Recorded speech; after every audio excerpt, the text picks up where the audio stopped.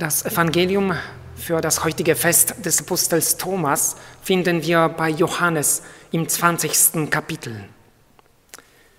Aus dem heiligen Evangelium nach Johannes.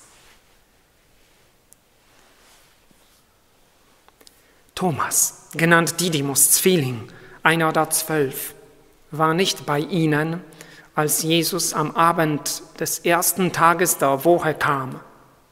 Die anderen Jünger sagten zu ihm, wir haben den Herrn gesehen. Er entgegnete ihnen, wenn ich nicht die Male der Nägel an seinen Händen sehe und wenn ich meine Finger nicht in die Male der Nägel und meine Hand nicht in seine Seite lege, glaube ich nicht. Acht Tage darauf waren seine Jünger wieder versammelt und Thomas war dabei.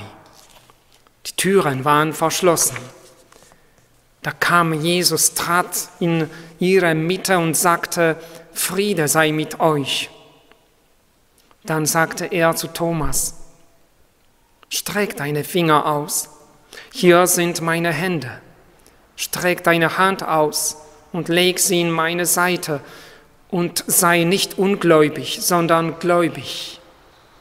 Thomas antwortete ihm, mein Herr und mein Gott. Jesus sagte zu ihm, weil du mich gesehen hast, glaubst du. Selig sind, die nicht sehen und doch glauben.